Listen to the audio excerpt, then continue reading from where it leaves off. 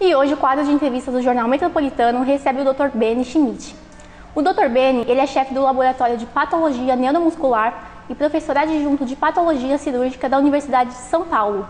E o tema da nossa entrevista de hoje é uma técnica revolucionária que está sendo testada pelo doutor e a sua equipe da Unifesp e que, se der certo, pretende mudar a história dos paraplégicos e tetraplégicos do mundo.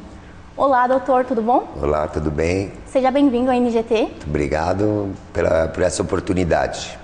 Doutor, é, explica pra gente como que funciona essa técnica e desde quando que ela está sendo testada? Ela começou há cerca de dois anos pelo doutor Nucélio, professor doutor Nucélio Lemos, que faz parte da equipe multidisciplinar é, da disciplina de neurologia da Escola Paulista de Medicina. Uhum. Como que ela funciona? É, os eletrodos são colocados por laparoscopia, videolaparoscopia, e são fixados nos nervos periféricos, como o femoral e o nervo pudendo, por exemplo. Uhum. E ela faz com que as pessoas que não têm inervação dos músculos dos membros inferiores começam a receber esse estímulo elétrico. Quais são os benefícios que ela vai trazer? Então, é, a reabilitação, o, o, processo de reabilitação, ele depende de três fatores fundamentais. Primeiro, um diagnóstico preciso. Depois, a inteligência neuromuscular. E depois, o amor. Né? A reabilitação ela é extremamente humanizada para ela ter sucesso. Né? O benefício é que a vida, na verdade, é um, é um estímulo elétrico. Né? O Sol, a nossa estrela, enviou os raios solares e esse estímulo elétrico gerou a vida na superfície do nosso planeta. É, a partir do momento que o eletrodo ele funciona como se ele fosse um nervo, ele envia um impulso elétrico que vai fazer com que o músculo possa se contrair. O músculo só se contrai se houver esse estímulo elétrico. E esses testes eles vão durar quanto tempo? Não, nós já não estamos mais em fase de teste. Ah, já está. É, a neuromodulação uhum. é uma coisa que está sendo usada hoje como tratamento.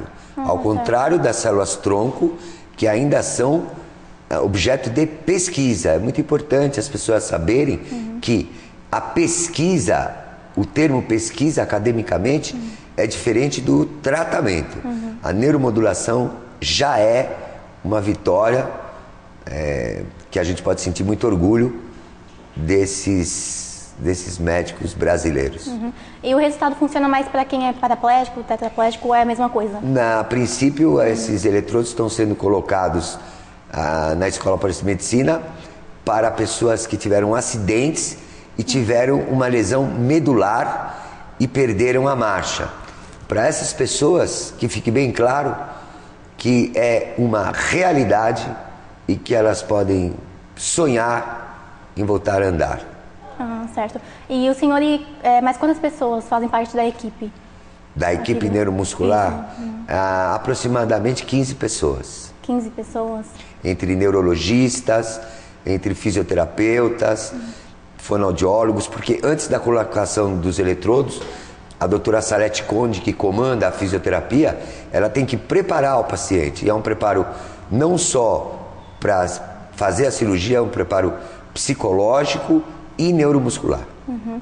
E como que está sendo avaliado pelos paraplégicos, tetraplégicos? Você já, já consegue sentir assim a resposta deles? Olha, um menino recentemente que fez uma coletiva aqui em São Paulo, e que está caminhando já dentro da piscina, uhum. porque tudo começa na água. Uhum. Como não tem gravidade, a gente usa a água, é um grande segredo para aqueles que trabalham com reabilitação. É, eu posso falar pessoalmente, fiquei durante a minha adolescência cinco anos sem poder andar, então só para quem perdeu a marcha é que sabe o que significa a gente poder voltar a andar. Verdade. É, e assim, vocês estão fazendo esse teste, já o projeto já foi feito, vocês já estão conseguindo fazer a cirurgia, mas é, depois de quanto tempo a pessoa consegue começar a andar assim? Para os eletrodos, hum. para os eletrodos se fixarem nos nervos, precisam-se mais ou menos três semanas. Três semanas. Três semanas para que, que o eletrodo fique bem fixado no nervo. Após três semanas começa o processo de reabilitação, uhum. que começa na água, o controle do aparelho, dos algoritmos, dos ritmos, dos impulsos elétricos. E a estimativa é mais ou menos de seis meses a um ano, uhum. né? Mas o extraordinário, e isso ainda não está demonstrado, é que a gente acredita, eu também pessoalmente acredito, é que depois a gente vai retirar os eletrodos. Porque existe uma propriedade do sistema nervoso, que hoje é bem conhecida na literatura, que se chama neuroplasticidade. Então, o sistema nervoso, com esses estímulos elétricos, as células que estavam inativas vão substituir aquelas que não estão mais funcionando e a gente vai poder retirar os eletrodos e as pessoas vão poder seguir sua vida normalmente. Ah, certo. Doutor, muito obrigada pela participação. Se o senhor tiver algum contato para passar para as pessoas que estão em casa, na assessoria. Eu volto a agradecer a essa oportunidade de estar divulgando uma coisa nossa, né? É muito confortável, muito orgulho para nós, da nossa equipe, estarmos na mídia divulgando alguma coisa de interesse público. E os contatos são as assessorias de imprensa. Uhum da Unifesp e da Agora Comunicação. Muito obrigada mais uma vez, parabéns pelo seu projeto também e pela é, equipe, né? E nós vamos ficando por aqui. Muito obrigada pela companhia e até logo.